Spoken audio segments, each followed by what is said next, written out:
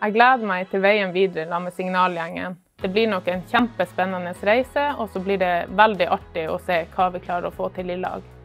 Nordnett er et solid og seriøst eh, selskap med mange kompetente og flinke mennesker.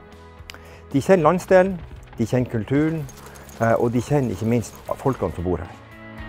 Derfor er jeg glad for at vi nå sammen med Nordnett kan satse i hele Nord-Norge. Jeg er stolt av det vi har fått til her på Nordnett. Fra fire ansatte så er vi nå 20 år etterpå 35 ansatte. Vi har lyktes med å bygge infrastruktur og levere knallgode TV- og internettløsninger i nord.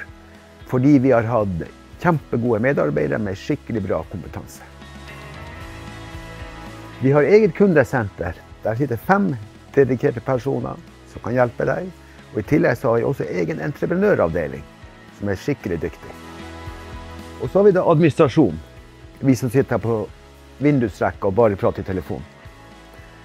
Og sist, men ikke minst, kundene. Kundene skal vi ta med videre på denne reisa. Signal Bredbånd ble starta i 2002 på Fauske, og har etter den tid sakte, men sikkert vokst til å bli en betydelig nordnorsk aktør. Hovedkontoret til Signal er i Bodø, og tar vi med kontorene til Nordnett, har vi til sammen syv avdelingskontorer fra Mosjøen i sør til Kirkenes i nord.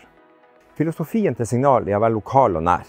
Og Det betyr i praksis at vi skal være der som kundene våre er. Og Den filosofien skal selvfølgelig også gjelde for det nye sammenslåtte selskapet. Vi har hatt et eh, godt samarbeid med Signal Bredbånd i mange år. Det er utrolig artig at de eh, har vist interesse for det som vi har fått til nå. Og det at de ønsker å komme inn på eiersida, det er spesielt trivelig. Ikke minst å tenke på hva vi kan tilby kundene våre her i nord. Altså nye, tekniske, innovative løsninger.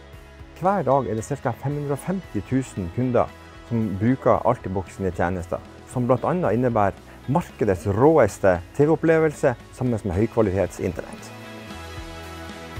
I Finnmark er det ca. 60 000 potensielle kunder som nå, pga. sammenslåing av Signal og Nordnett, har muligheten til å få lov å bruke Altibox sine tjenester.